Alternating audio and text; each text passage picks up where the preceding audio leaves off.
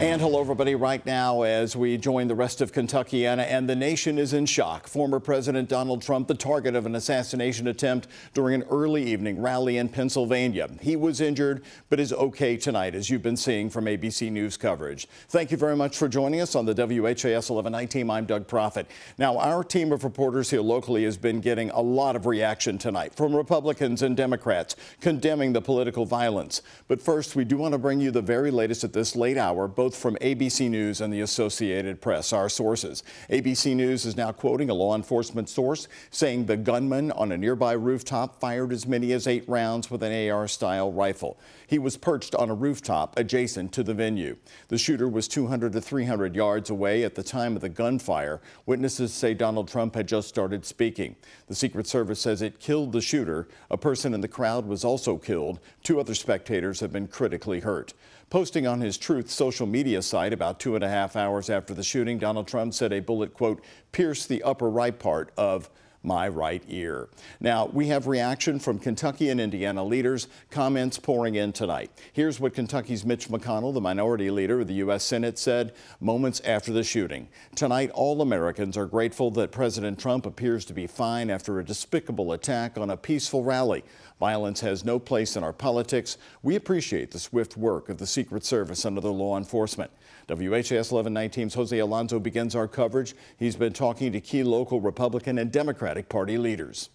My phone's been ringing off the hook, Jose. It, it uh, people are very concerned. Initially, it was concern about uh, of course, the president's safety. The chairman for the Jefferson County Republican Party, Don Fitzpatrick, says his constituents were watching former President Trump's rally closely.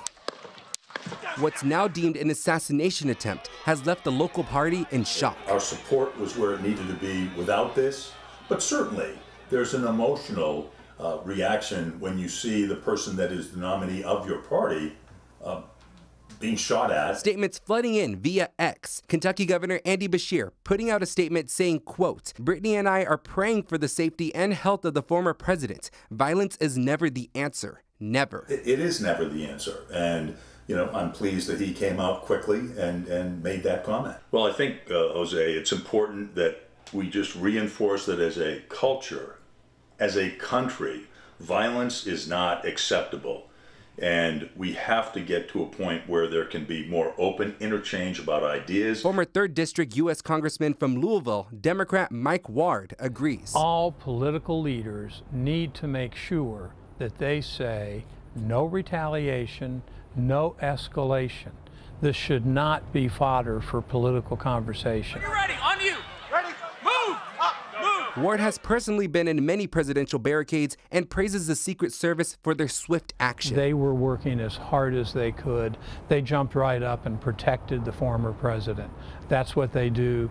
That's why we should always honor and praise them for that. An attempt on a political figure's life is no stranger to him, as he was working with Louisville Mayor Craig Greenberg's campaign when he was shot at. Was not at the headquarters the day of his shooting, but I did pick him up that afternoon to go to the press conference.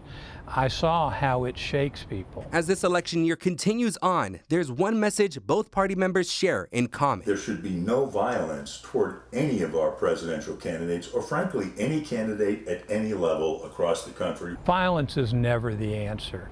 We need to go about our society in a democratic way because we are better than that. Now, it was very interesting hearing that from both sides of the political parties. What also caught my attention was both of their history as well. Fitzpatrick told me his grandfather was a congressman who was shot at, at the Capitol and survived. And Ward told me about how this reminded him of when President Kennedy and Martin Luther King Jr. were also assassinated. We are hearing from others as well. Republican Senator Todd Young also responding on Twitter saying, quote, a terrifying scene at President Trump's event this afternoon praying that he and all in attendance are okay and that calm will prevail. Violence is never the answer. So we have a lot of political leaders here in Kentuckiana condemning this action. Jose, I know you found today it didn't matter which party uh, Republican, Democrat, uh, people were eager to talk about this and, and, swiftly condemn what happened today. Very much so. We got statements just right off the bat from there, and people that we called all around today. I'm just happy that they were able to talk with me on camera today. All right. Thank you very much, Jose Alonso. Well,